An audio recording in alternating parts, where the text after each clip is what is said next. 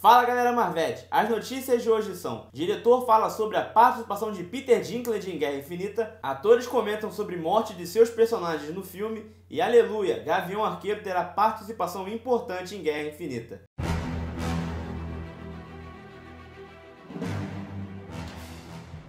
E o diretor Joey Russo comentou sobre como vai ser o personagem de Peter Dinklage, o famoso Tyrion Lannister em Guerra Infinita. Abre aspas.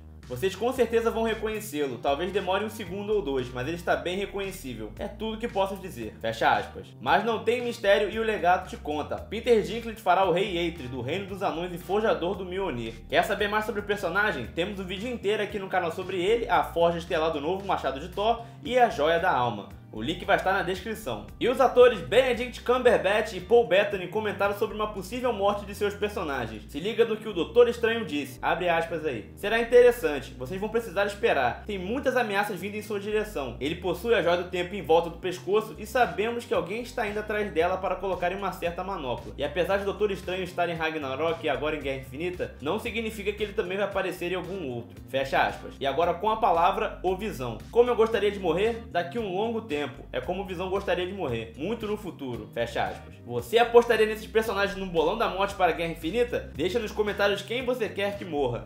Guerra Infinita está chegando, e até agora, cadê o Gavigode? O mistério permanece, mas calma, fique tranquilo, porque segundo o diretor Joey Russo, o Gavigode vai até ser importante no filme. Abre aspas. Vamos continuar dizendo, paciência é uma virtude, não esquecemos de Jeremy Renner. Sua participação no filme será importante em longo prazo também. Tudo será revelado quando o filme chegar aos cinemas. Fecha aspas. Então, é só esperar, negado, e confiar na glória do poder do Gavigode. Guerra Infinita chega na semana que vem, no dia 26 de abril. E agora que falta pouco pro filme chegar, entre no clima de expectativa e assista ao primeiro episódio do especial sobre o filme, O Caminho para a Guerra Infinita, que estreou hoje aqui no canal e eu também vou deixar o link aí na descrição. E por hoje é isso, pessoal. Se curtiu as notícias, já deixa um like no vídeo aí, se inscreve no canal e ativa o sininho para ver logo de cara os nossos vídeos. Siga o legado em todas as nossas redes sociais, entre no nosso grupo do Facebook e para mais notícias fique de olho no nosso site. Valeu!